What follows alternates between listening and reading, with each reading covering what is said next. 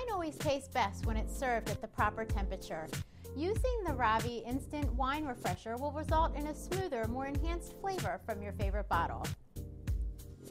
This wine and spirits refresher is super easy to use. It has three parts the base, the inner cartridge, and the outer shell.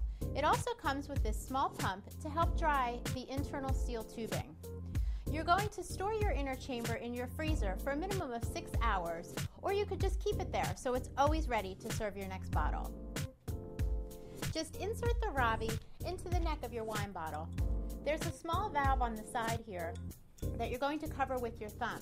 That controls the flow of the wine. Just tilt it towards your glass and slowly release your thumb from the valve. The wine will begin to flow. Cover the hole of the valve slightly to reduce the flow of the wine.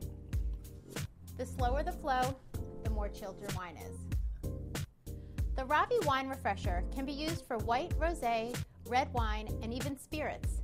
For white and rosé wines, it eliminates messy ice buckets. For reds, you can bring them from room to cellar temperatures in seconds.